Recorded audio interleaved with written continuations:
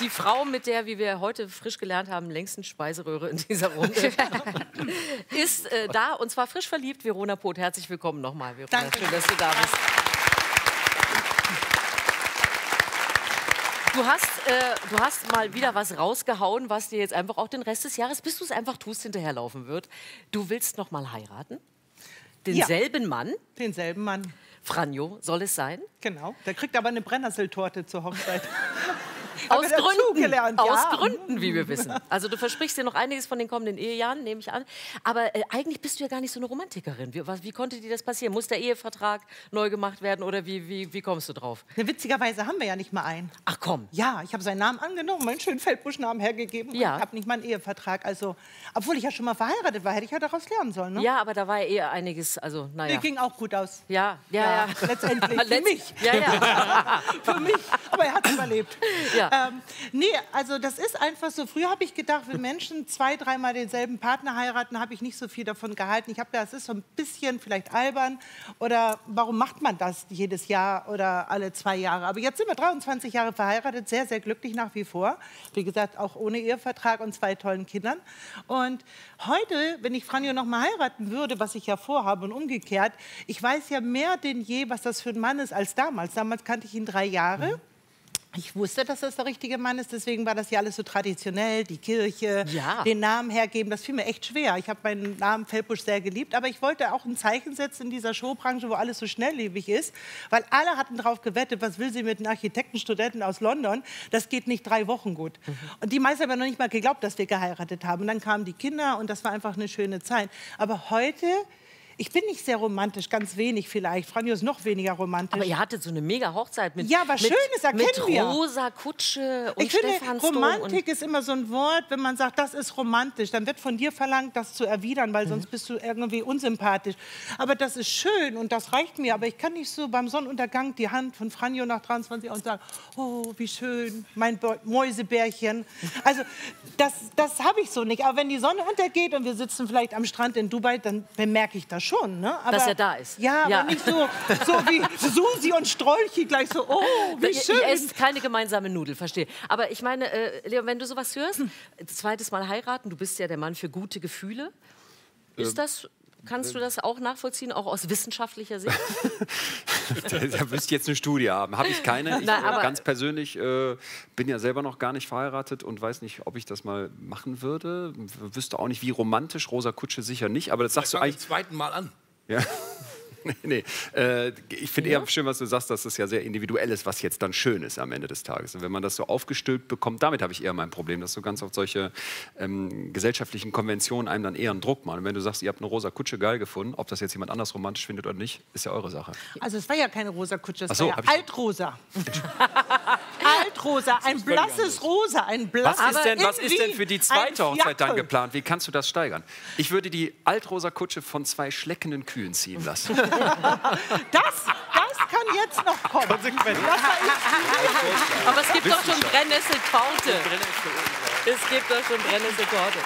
Aber wir haben hier schon. Nee, nee, nee, die Kutsche. Ricardo, du möchtest in diesem Jahr heiraten. Ja. Du hast gerade gesagt, die Kutsche, warum denn nicht? Nee, ich finde das schön. Also ich, ich bin genau das Gegenteil von Verona. Ich, ich nenne meinen mein Verlobten auch nicht Mäusebär, aber auch was mit Maus. Also ich bin genau das, was du beschrieben hast, bin ich. ich wenn ich einen Sonnenuntergang sehe, dann bin Wird ich sofort schon, ja, also gegriffen. Ich, ich habe so gesagt, für mich ist das sowieso der Happiness-Button. Immer wenn ich ein Gefühl fühle, was gute Gefühle in mir auslöst, muss ich automatisch auch an meinen, an meinen Mann denken und sagen, ich liebe den so. Also in meinem Kopf ist das so verbunden wie so eine Tastatur. Das macht Franjo auch, indem er mir regelmäßig was schenkt. Und ich freue mich, ich bin dankbar. Die ganze Woche über bin ich dankbar. Aber wir haben ja auch Kosenamen. Eine Er nennt ganze. mich Chantal, Ashanti und Uschi. Also ich glaube, Das sind meine Kosenamen. Das ist so. Schon seit 100 Was Jahren. wir schon alles erfahren haben. Bernd, du bist ja. ich glaube, wenn du, ein, so ein, wenn du so einen Moment hast, wo du sagst, oh ja, jetzt, ja, oder äh, ich saß mit meiner Frau irgendwann in, in Holland am Strand und da war dieser Meteorsturm. Ei- Eine, eine Sternschnuppe nach der nächsten. Dann sitzt du da und denkst, boah, ist das toll. So, die sind, das sind glückliche Momente. Die sind dann wahrscheinlich in zwei Minuten wieder weg. Aber wenn du davon genug zusammenkriegst, in die Hosentasche stecken, einsammeln, ich glaube, wenn man irgendwann genug davon hat, und dafür sind die sehr wichtig, dann wirst du ein zufriedenes Kerlchen. Auch schon lange verheiratet, der Ja. Siehst du? Da Also, war's dran. Sehr schön. Gibt's denn, oh, um noch mal ein bisschen was für die Gala zu füllen, gibt es äh, konkrete Termine, Planungen, irgendwas? Also es gab schon die Einladungen wurden rausgeschickt. Das war aber so ein bisschen in der Pandemiezeit, als es gerade alles besser wurde. Wir wollten auf Ibiza heiraten. Ähm, wir hatten uns schon einen wunderschönen Strand ausgesucht und alle eingeladen. Aber dann hieß es plötzlich wieder, alle müssen am Tisch sitzen bleiben, nur vier Personen, nicht tanzen und so. Dann haben Ja, wir gedacht, ja okay. Und jetzt habe ich mal, weil ich ja eigentlich mein Sohn, der Dego nennt mich ja immer Zack, weil er sagt, du bist nicht nur auf Zack, du bist der Zack. Und das Schlimme an so einem Zack ist, dass da alles ganz habgierig schnell organisiert. Und dann die ganze Familie beschimpft, ihr macht ja nichts. Aber ich mache es so schnell, bist die haben gar keine Chance. Okay. Und jetzt habe ich mir gedacht, jetzt schiebe ich mal den Ball rüber. Und jetzt habe Du ich lässt jetzt gesagt, organisieren. Du organisierst die ganze Hochzeit und ich bin da raus. Okay. Jetzt muss ich nur noch warten auf den Ring und auf den Antrag. Das ist nicht so schwer. Das Kleid werde ich selber organisieren. das Kleid machst du selber. Kann okay. der das denn? Das ist ja immer das Problem. Wenn man delegiert, stellt man plötzlich fest, ich habe wirklich auf die falsche Person gesetzt, Na, also das was wär das jetzt schlecht. Organisieren angeht. Ja, ja.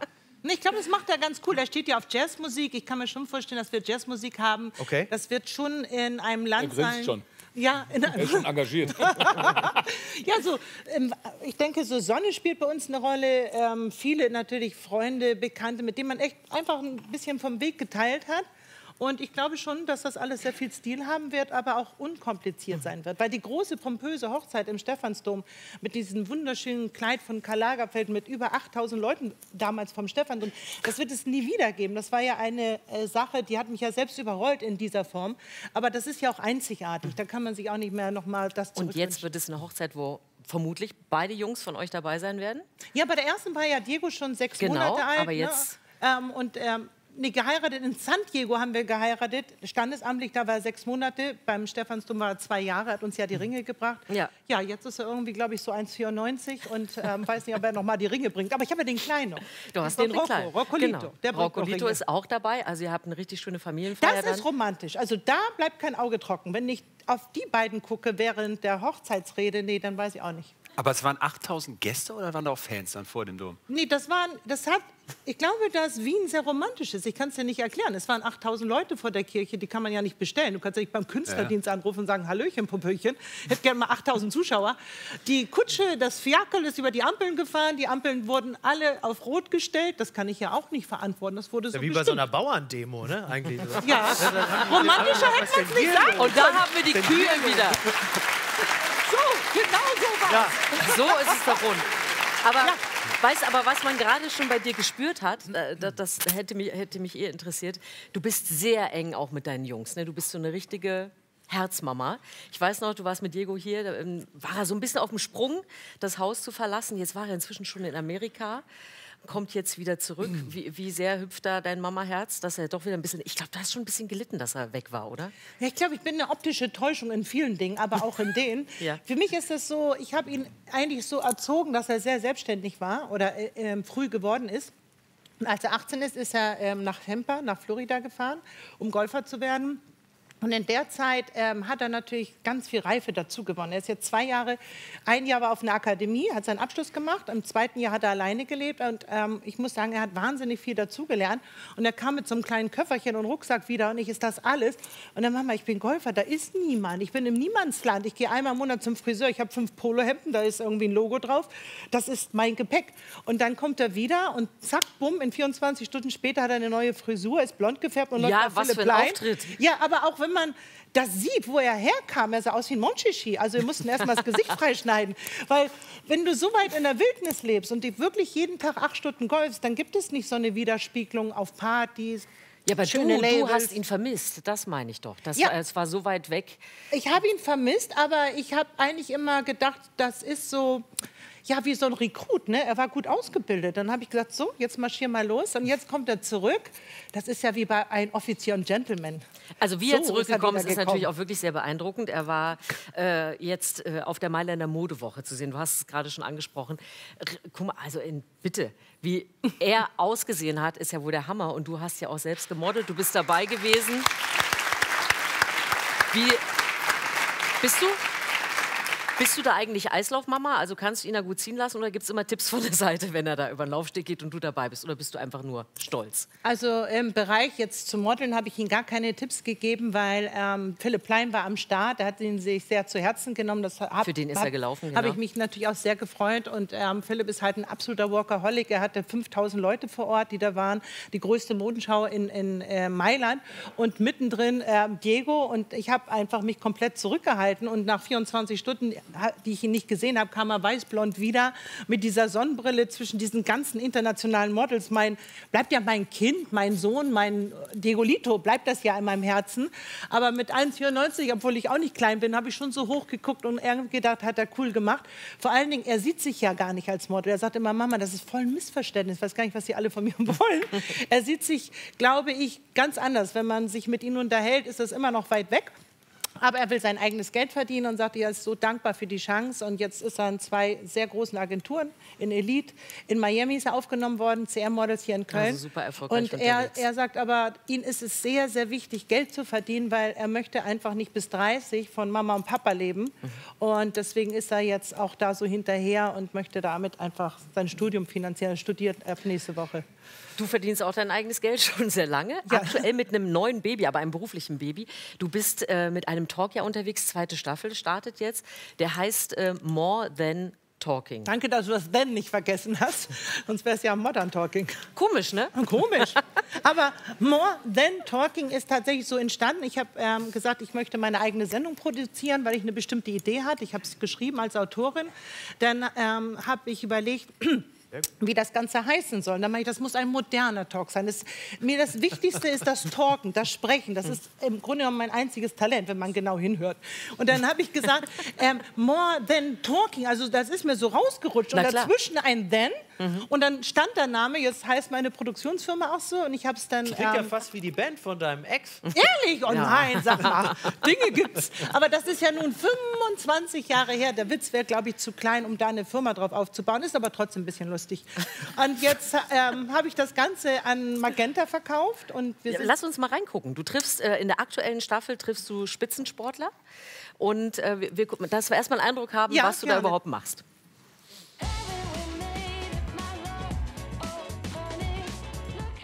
Hallo, grüß dich. Meine ganze Familie hat quasi äh, hier gearbeitet, arbeitet immer noch äh, unter Tage. Ja, ja. Ach, hier die ganze Arbeit alleine. Wir könnten schneller, aber wir haben ja noch 100 Kilometer vor uns. Der Mensch sucht ja das Abenteuer. Ich glaube, das Abenteuer kam zu dir, oder? Ich habe jetzt alles ausgelotet, auch die untersten Grenzen. Also ich finde, du hast was Philosophisches. Ich weiß nicht, ob dir das schon mal einer gesagt hat. Also ich habe zwei Söhne, die sind sieben Jahre auseinander und das ist auch ganz gut. Aber jetzt drei, da, also echt Respekt vor deiner Mama. Ja. Ich also alleinerziehend, drei Kinder. Mama. Und deine, Warte. ja, 1 zu 0, yes. Okay, 1 zu 0 für? Für mich? Ja, für wen? Welche Mannschaft? Ähm, ja, Ja, für Verona. Verona FC. Hier, Lukas. Ah, Ja, das ist das Ding.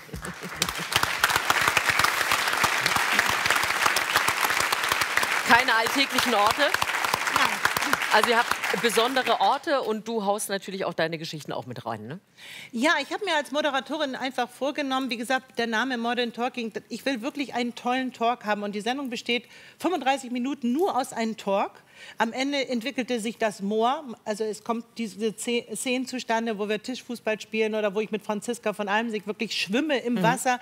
Sie als zweifache Weltmeisterin schwimmen zu sehen, war mir eine große Ehre. Es gibt so tolle Momente, die am Ende noch zustande kommen. Ich reise deswegen an Orte, wo ich die Leute auch optisch ein bisschen überrasche.